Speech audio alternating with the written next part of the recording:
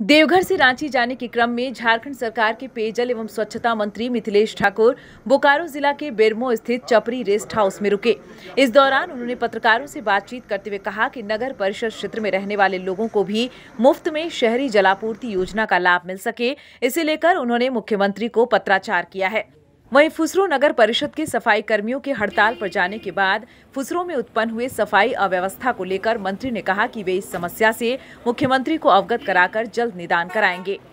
बता दें कि पिछले तेरह दिनों से फुसरो नगर परिषद के सफ़ाई कर्मी हड़ताल पर चल रहे हैं।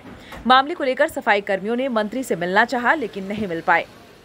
सरकार के नगर निगम क्षेत्र में कनेक्शन का कोई शुल्क नहीं लगेगा। और नगर परिषद के लिए अभी ऐसा कोई निर्णय नहीं हुआ है, लेकिन हमने पत्राचार किया है, माननीय मुख्यमंत्री को अवगत कराया है इससे कि नगर परिषद क्षेत्र में भी जो योजनाएँ हैं और उनसे जो कनेक्शन देना है, वो भी फ्री ऑफ़ कॉस्ट दिया जाए। और उम्मीद है कि इस पर माननीय मुख्यमंत्री जल्द निर्णय लेंगे, क्योंकि नगर परिषद का क्षेत्र है, नगर विकास विभाग के अंतर्गत आता है माननीय मुख्यमंत्री के अधीन ही वो क्षेत्र है।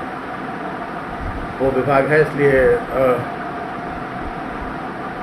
हमें बहुत जल्द उम्मीद है कि इस पर माननीय मुख्यमंत्री सहानुभूति को विचार करेंगे और निर्णय लेंगे अपने में, अपने आप में एक स्थानीय सरकार होती है और उसके जो अध्यक्ष हैं या कार्यपालक पदाधिकारी होते हैं, इनकी ज़िम्मेदारी होती है कि नगर परिषद को सुचारू ढंग से चलाना, अगर कहीं इनकी कमी है तो निश्चित रूप से इससे अवगत कराऊँगा मैं माननीय मुख्यमंत्री को कि नगर बोकारो धर्मो नगर परिषद में काफ़ी शिकायतें आई हैं। मैं उनको अवगत कराऊँगा, कार्यपालक पदाधिकारी से बात करके और समस्याओं का निदान की ओर।